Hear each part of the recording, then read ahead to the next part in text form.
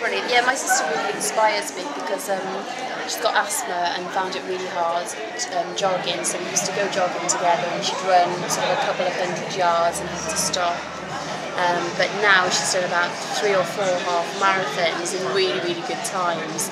And it was just through sort of sheer determination and hard work and pushing herself that now she does them. And I just think that's really inspiring. I started off being able to do more than her, and now she's just done three half marathons, which is absolutely fantastic have their dreams of things they want to achieve and they might seem absolutely impossible but you know they work so hard and set down goals to get to different goals and eventually they get there and through obviously really really hard work determination support teamwork but having something they think is completely out of their reach and then getting it I think that's really inspiring.